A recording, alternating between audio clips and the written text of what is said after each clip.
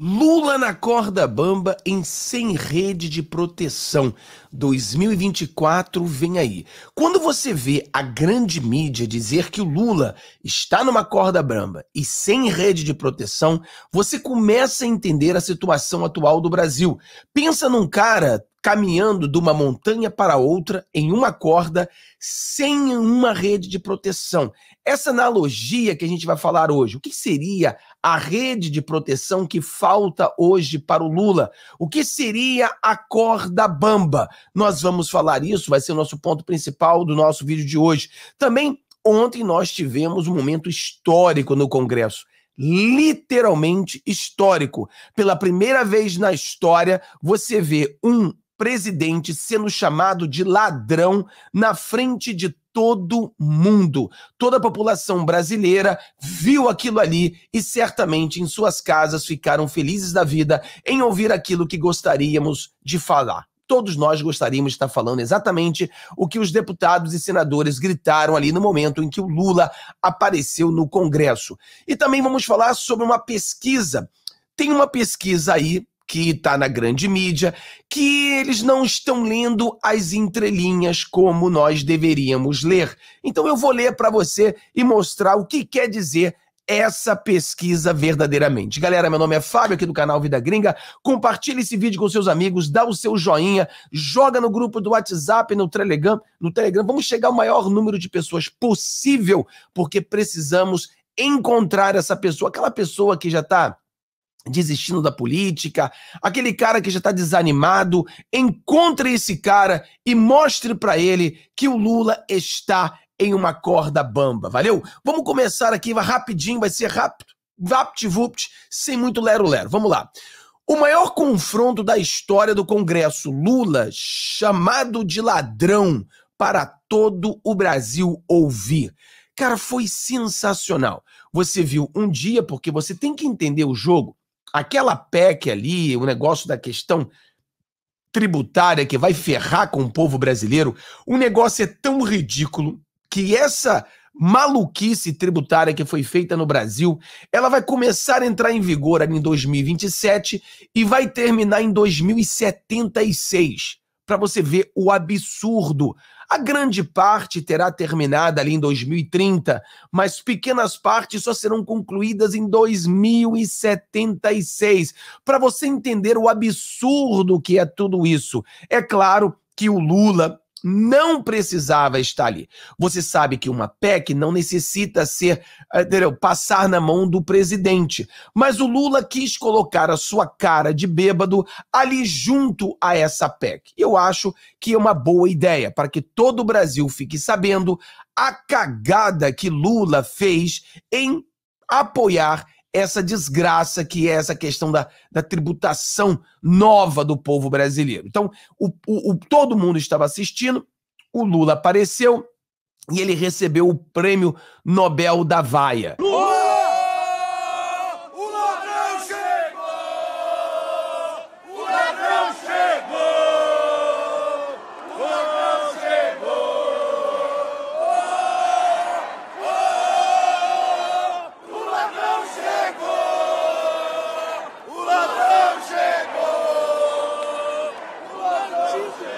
Ele foi vaiado e foi chamado de ladrão, e todo o povo brasileiro viu.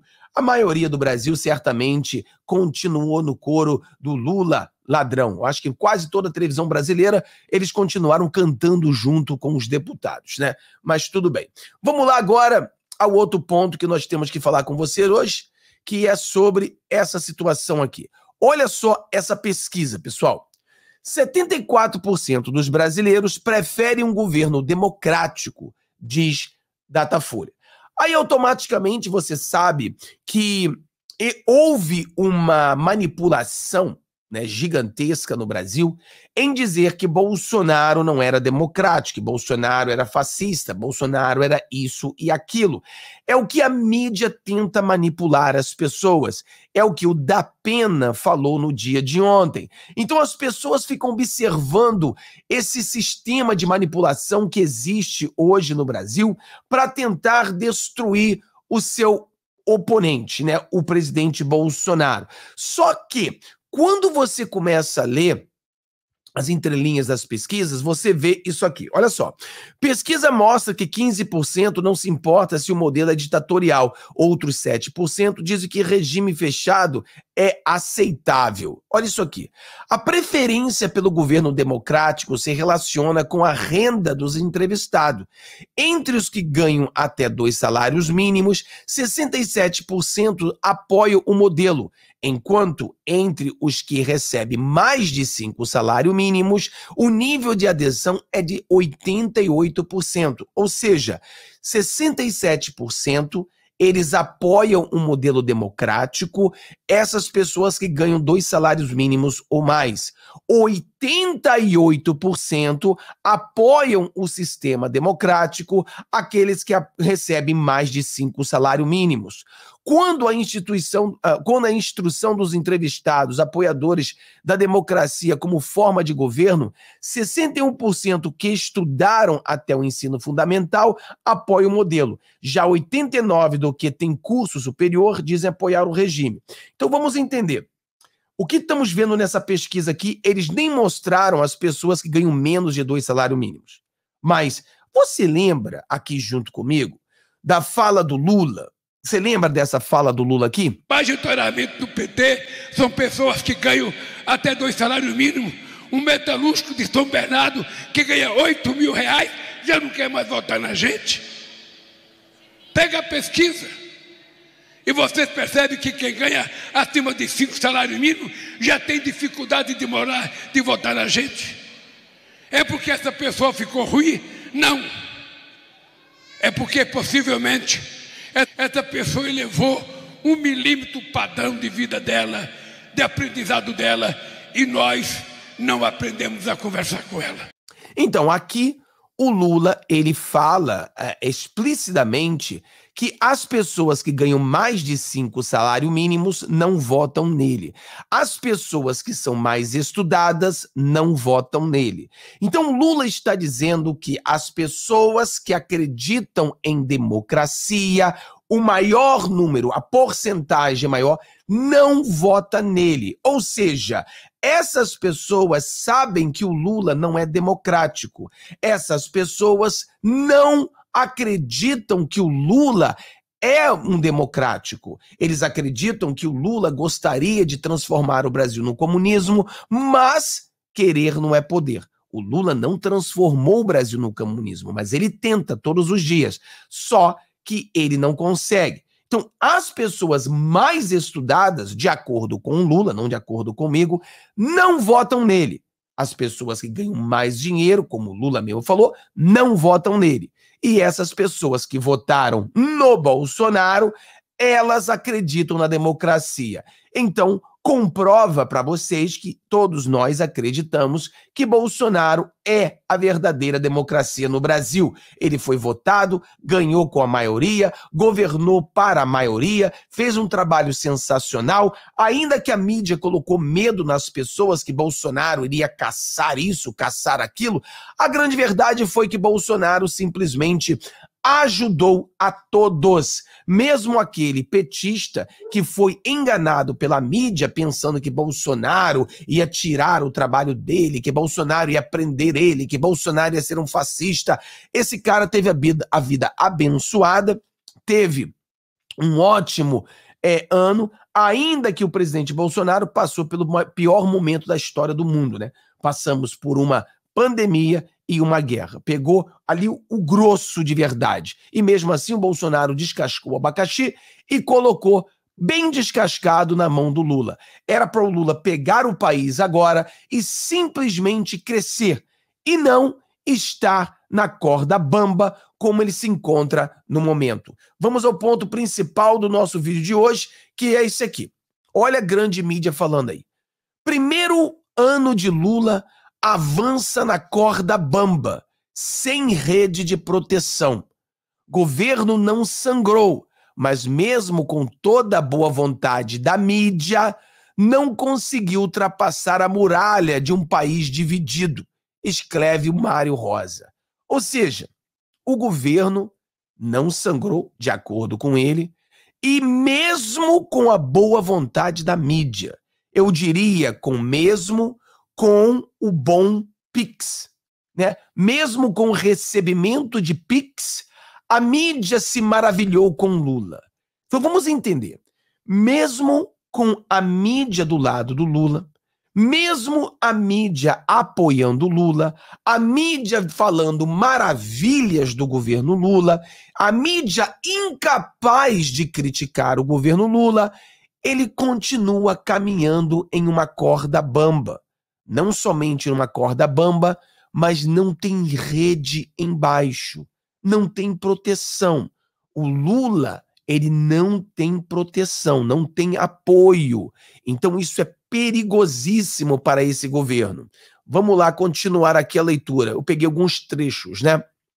Voltando aos balanços, tem a coluna do positivo do negativo e no fim o saldo. Na coluna dos passivos, e aqui sem crítica, é natural que o novo governo busque um posicionamento diferente perante ao mundo.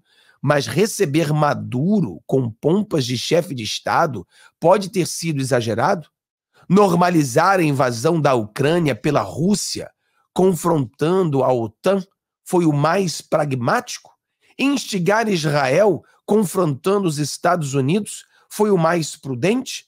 Fazer coro ao fim do dólar em alimento com a nova geopolítica mundial traz vantagens antes das desvantagens? Então, algumas perguntas foram levantadas e aqui eu começo a identificar as faltas das redes de proteção. Eu e você sabemos que os Estados Unidos do Biden, ele era um grande apoiador do Lula. E uma das redes de proteção do governo Lula, ele tinha o apoio do governo Biden. Ele tinha esse apoio para fazer as cagadas de que ele fez. Já não tem mais. O Lula, ele ficou com a Rússia, ficou com o Hamas, trouxe o Maduro. Agora, rum, rumor de guerra entre Maduro e Guiana, ele fica quieto, não sabe o que fazer, ele está em completo desespero. Lembrando a você que esse foi o governo que disse que ia arrumar paz entre Rússia e Ucrânia. Não conseguiu. E arrumar paz entre Israel e Hamas. Não conseguiu. E agora diz querer lutar para ajudar a questão da Venezuela e Guiana ele nem aparece, está com medo de falar sobre a situação. Então nós vemos o que está acontecendo. Vamos lá. Significa que o governo Lula é um equilibrista sem rede de proteção. Se atravessar a corda bamba e chegar ao outro lado, com a plateia com o coração na boca, arrancará aplausos pela proeza de um desafio arrebatador, mas não pode falhar. Não pode falhar. Conclusão: por mais incrível que possa ser, o mais difícil governo Lula é o de agora. A vantagem é que conta com um Lula mais experiente. A complexidade é que o mundo e o Brasil nunca andaram tão complicados. Então, o que acontece aqui, pessoal? Essa matéria, ela fala que o Lula está na corda bamba e que se o Lula chegar do outro lado, então a gente bota um questionamento. O que seria o outro lado, terminar o seu mandato. Com, né? Então você tem começo do mandato, que é a parte dessa montanha, e o término do mandato, que é né, o outro lado. Então ele diz que o Lula está atravessando esses quatro anos em uma corda bamba. A qualquer momento ele pode cair. E se conseguir, se conseguir chegar ao outro lado, as pessoas estariam com o coração na boca. Então você vê como a esquerda e como a mídia vê o governo Lula. Eles veem que o governo Lula dificilmente conseguirá vencer. Eles veem que o governo Lula dificilmente conseguirá crescer ou não cair, se manter no poder. É assim que a grande mídia está vendo, é assim que os próprios petistas estão vendo. Os petistas estão como o, o, o, torcedor do Fluminense, que vai jogar contra o Manchester City e querem ganhar o Mundial. Sendo que eles sabem que a probabilidade vai ser muito difícil de que o Fluminense consiga ganhar do Manchester City. Então o petista ele está torcendo para que Lula consiga caminhar nessa corda bamba e não cair até 2026. Eles sabem que o Congresso, que hoje, a no dia de ontem, vaiou Lula, chamando-o de ladrão, ele sabe que agora, com essa direita, que muitos de vocês não gostam dessa direita, mas a realidade é nua e crua. Mesmo que você não goste dessa direita, ela é a direita mais forte que nós já tivemos nos últimos anos. Você começa a entender. O problema é que muitas pessoas estão no caos, muitas pessoas não conseguem ver e elas acreditam que o Lula está caminhando tranquilamente, sem problema nenhum, ele simplesmente está no governo 1 do Lula. Não está, pessoal. Ele está numa corda bamba e existe questionamento se ele consegue chegar ao outro lado. Ele não tem a popularidade que tinha, porque a gente pode falar, Fábio, quais são as redes que ele não tem mais? Não tem os Estados Unidos para protegê-lo, não tem a Europa para prote é, protegê-lo, não tem a população. O Lula não tem uma popularidade que o possa proteger, não tem governabilidade não tem governo, não tem os senadores, deputados que possam é, protegê-lo, porque você viu que muitas das vezes, agora até mesmo vetos do presidente Lula estão sendo bloqueados. Então, quando você começa a ver vetos sendo bloqueados, é porque realmente ele não tem essa, essa proteção no Congresso. Agora você fala, mas Fábio, várias das coisas que Lula votou, ou Lula pediu, ou Lula criou, passou. Eu tento explicar para as pessoas que existe uma diferença no que passou e existe uma diferença em projetos de Lula. O Lula, que nós acreditamos que é um comunista, um comunista frustrado porque não consegue botar o comunismo no Brasil, graças a Deus, as pautas comunistas do Lula não têm passado. Ela tem simplesmente sendo bloqueada, vem sendo bloqueada. Já as pautas que beneficiam o Centrão, essas pautas vêm passando. Então, por exemplo, quando Lula gosta de algo que o Centrão também gosta, isso passa. Porque são pautas que os dois lados gostam e acreditam. Por exemplo, que esse lixo da, da, da questão do, dos impostos, da, da, reforma tributária, isso passou. Passou por quê? Porque tanto esses deputados gostam de arrancar o dinheiro do povo, como o Lula gosta de arrancar o dinheiro do povo. Por isso passou. Mas as ações totalmente petistas, elas não passam. Por exemplo, ontem de ontem nós tivemos uma grande vitória. O próprio Eduardo Bolsonaro fez um vídeo mostrando para gente que nós protegemos ali quando foi feito esse budget, esse dinheiro, nosso dinheiro que será usado o ano que vem, que são bilhões e bilhões e bilhões, onde o Lula vai comprar vários deputados, fazer tudo isso, nós tivemos uma grande vitória aquele dinheiro público não poderá ser usado contra a propriedade privada, contra a família ou contra as crianças. Cara, isso é sensacional. Três coisas que o Lula é contra, mas como eu falei para você, ele ficou numa sinuca do bico, uma sinuca de bico, ele não consegue vetar esses passos, porque se ele veta esses passos, aí ele cai de uma vez dessa corda bamba. Então ele fica numa situação dificílima ele está caminhando numa corda bamba e a própria mídia agora pergunta se ele chega no outro lado. Muitas pessoas acreditam que Lula não chega no outro lado. Eu já vejo que Lula não chega em um próximo mandato. Né? O Lula vai tentar uma reeleição, talvez. Eu acredito que o Lula termina, a história do Lula termina em 2026. Vai ser antes de 2026 e depois de 2026. Teremos um Brasil sem o Lula. Então Deus abençoe a todos vocês, que vocês tenham um dia maravilhoso. Vejo vocês no nosso próximo vídeo. Tchau, tchau, galera. Um abração.